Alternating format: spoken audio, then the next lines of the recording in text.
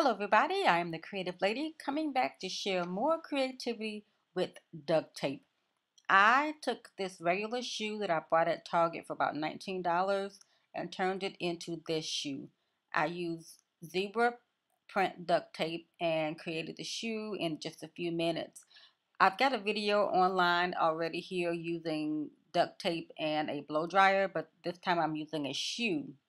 And it only took a few minutes. Just working with the curved surfaces is a little challenging, but with a little time and patience, you can make it happen.